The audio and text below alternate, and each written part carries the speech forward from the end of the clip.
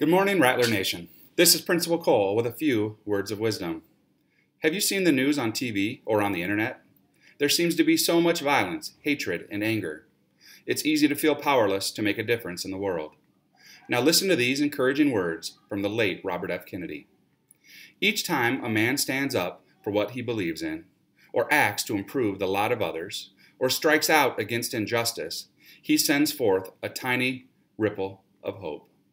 Today, ask yourself this What do I believe in?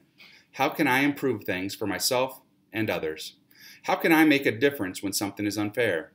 Then remember this each time we choose to act with courage and belief in ourselves and others, we are helping shape a better world. With something to think about, this is Principal Cole. Be great today, or not. The choice is yours.